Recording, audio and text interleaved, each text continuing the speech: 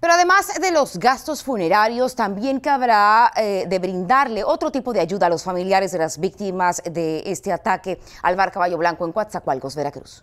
Apoyos alimentarios son los que habrán de brindarse a los familiares de las víctimas del bar Caballo Blanco en Coatzacoalcos. La titular de la Comisión Ejecutiva de Atención a Víctimas en el Estado, Lorena Mendoza Sánchez, dijo que para ello ya se elabora un plan integral.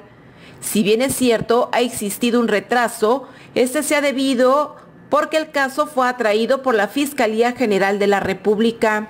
Es el apoyo alimentario que como Comisión Ejecutiva de a Víctimas realiza a las víctimas. Un fondo especial, ellos también cuentan con un fondo, el Fondo de Ayuda, Asistencia y Reparación, pero obviamente federal, en donde ellos tienen que abrir un fondo especial para el apoyo de casos como estos.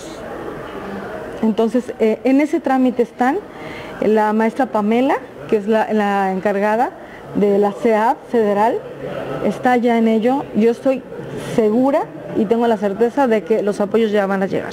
Hasta ahora, la ayuda proporcionada a los familiares de las víctimas ha sido con los gastos funerarios.